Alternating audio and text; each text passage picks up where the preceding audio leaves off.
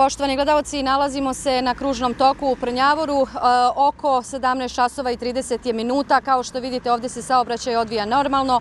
Danas nema nikakvih protesta i zastoja zbog cijene goriva, kao što se dodešavalo u nedjelju i ponedjeljak između 17 i 18 časova. Dakle, saobraćaj se odvija normalno, tu je policijska patrola. E, za sada nije bilo nikakvih zastoja, a vozila se e, normalno kreću.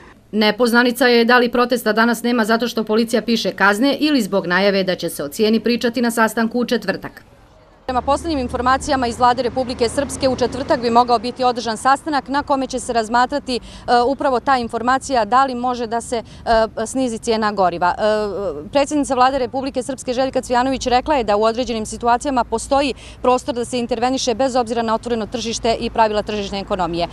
Također, prema poslednjim informacijama u Federaciji BiH već su se pojavile informacije da bi cijena mogla da bude niža za 5 do 15 feninga po litri već od sutra, najkasnije od petka, tako da da se nadati da će bar za taj iznos i u Republici Srpskoj gorivo e, biti niže, odnosno da će cijena goriva biti niža. Inače, MUP Republike Srpske pozvao je građane da proteste u vezi sa cijenom goriva. Izražavaju u skladu sa nadležnim zakonskim propisima, jer će u suprotnom sankcionisati prekršaje nepropisnog zaustavljanja i parkiranja vozila. Juče su kaznili 142 lica. Kao što smo rekli, usredile su kazne, pa su policijski službenici MUPA Republike Srpske juče sankcionisali 142 lica na teritoriji Republike Srpske zbog prekršaja zakona o javnom okupljanju Republike Srpske, o osnovama bezbjednosti saobraćaja na putevima BiH, o javnom redu i miru, te o prekršajima Republike Srpske. Hrvatske.